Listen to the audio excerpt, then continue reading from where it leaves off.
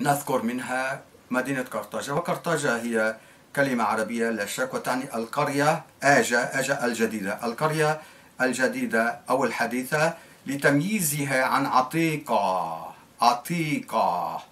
العتيقة وهي المدينة أو القرية العتيقة التي بناها الفينيقيون العرب في تونس.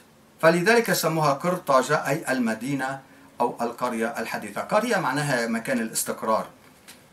الآن بعد ذلك حضر موت ما أحد تساءل اليوم لماذا سماها اللبنانيون الذين جاءوا من صور صور مدينة في لبنان جنوب مدينة بيروت في لبنان وهي كانت عاصمة الإمبراطورية الكبيرة العظيمة الفينيقية العربية بحضرموت ما أحد يسأل نفسه لماذا سموها بحضرموت لأن الفينيقيين جاءوا من جنوب جزيرة العرب كما قلت من اليمن وسلطنة عمان استقروا في القطيف والإحساء في السعودية والبحرين ثم بعد ذلك هاجروا إلى الشام مثلهم مثل عرب الجزيرة الذين سبقوهم وبنوا مدينة سور اللبنانية لأنه يوجد سور في سلطنة عمان شرق سلطنة عمان فبنوا نفس تيمنا بسور العمانية العربية بنوا مدينة سور في لبنان على الساحل اللبناني حوالي 2300 قبل ميلاد يسوع المسيح أي منذ أكثر من 4000 سنة.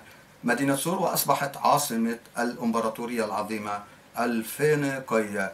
كذلك تبسوس في الوسط الشرقي لمونستير للأسف مونستير كلمة لاتينية بالقرب بالقرب من راس ديماس راس ديما.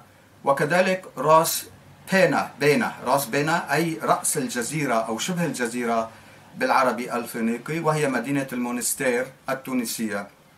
عتيقة عتيقة عتيقة وهي موقع مدينة أوتيك المطلوب أن يسموها أو يطلقون عليها الاسم العربي. أوتيكا عتيقة للأسف الشديد الحالية التونسية. ثيناي وتابا رورا وهما بجوار مدينة سفاكس التونسية الحالية. وكذلك سوسة وكركوان في الساحل التونسي دمرها كذلك المتوحش الهمجي البربري الجيش الروماني لأنه كان بر كانوا من الهمج والبرابرة وكذلك فكان عدوهم الأساسي الحضارة والمدنية والرقي. وكركوان في الساحل التونسي سماها اللبنانيون بكركوان لأنهم وجدوا فيها طائر كبير طويل العنق والرجلين لونه كلون الغبار بالعربي كركي. كركوان بالفينيقي في العربي كركي كذلك بنزرت أو عيبو عيبو من عب العب معناها الداخل الجوف. أكرا بناها اللبنانيون. جاءوا من مدينة صيدا اللبنانية وصيدا كذلك في جنوب بيروت. فبنوها في تونس. الآن نتكلم عن الساحل ليبيا. سبارتا وأويا أويا هي طرابلس الحالية. ولبادا أي لبدا لبدا لبدا العظمى وسرت وغيرها كثير من المدن.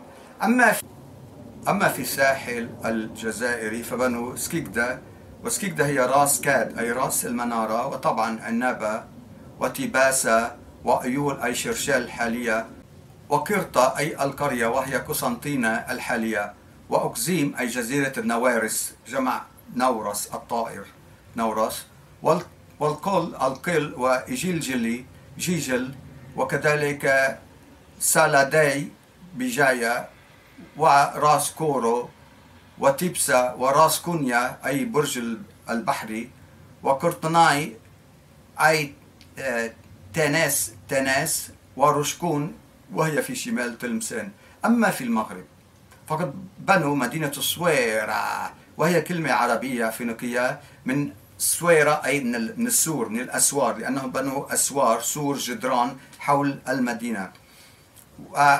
وأظن أن الأسوار ما زالوا موجودين إلى يومنا هذا. وكذلك طنجة وسبتة ومليلة وسالة وأغادير أغادير.